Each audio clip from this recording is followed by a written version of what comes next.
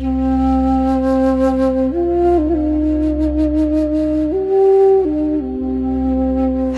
and welcome. Uh, I'm uh, Tamara Jeremic. This is my first solo exhibition. In this uh, gallery, uh, space is uh, separated. So our moving through this exhibition starts in one empty room where we only have a mirror which uh, shows us direction to the to the end of the exhibition. So here we have a sculpture that presents some kind of cramp or uh, contraction, so uncomfortable state of being.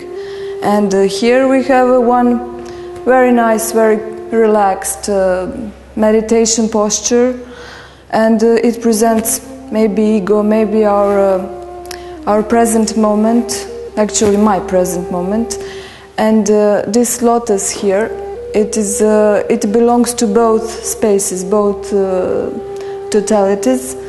And uh, lotus is important for me because uh, I took its its uh, symbolical sense from the Indian uh, and Buddhistic uh, mythology and uh, culture. This bright room is um, is here to explain my intimate vision of um, of these symbols that I use.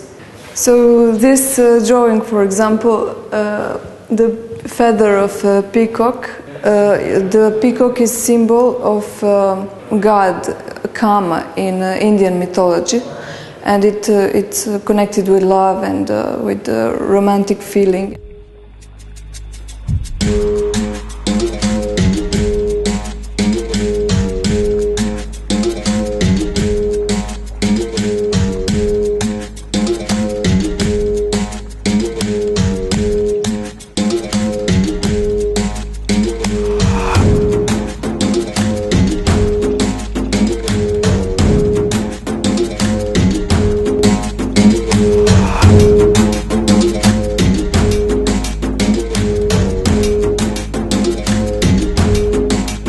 Here we have a sculpture that looks like uh, it's tough, but actually it is very, very soft. It's uh, sensitive and uh, light, made of um, cut uh, mirrors and some some material, some plastic material that um, is transparent, and um, it is uh, it is again taken from from Indian culture. It is uh, it presents uh, Shiva, the god of dance, and um, uh, it is important that we can see many many pieces of ourself in him, in his uh, body.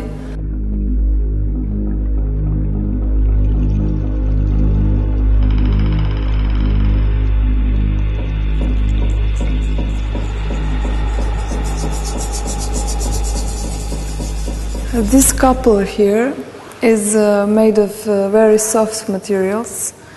This one doesn't have bones, this one has. See?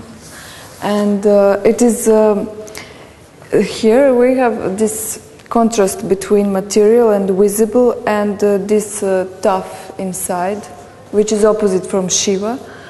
And it is uh, again the story of lotus that I mentioned uh, about symbolic meaning and uh, uh, very big symbol, and I wanted to make it bigger and uh, to compare it with the size of human body that uh, maybe we can uh, go out from it and born from this kind of magic magic object.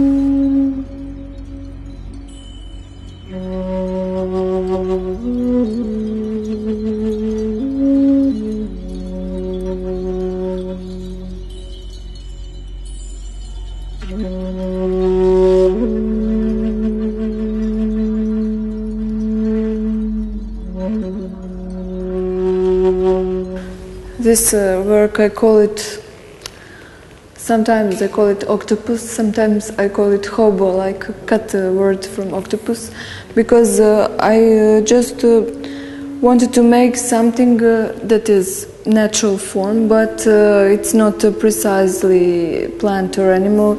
It depends on setting, and it is coupled with this this flower here. And there is uh, one more uh, small sculpture. Uh, it is a strail, like a little mutant between finger and straight direction and snail. So he passed whole exhibition before uh, every, everybody else, and he left uh, a little silver trace behind him, and uh, he is in in one corner, in the last corner of uh, exhibition.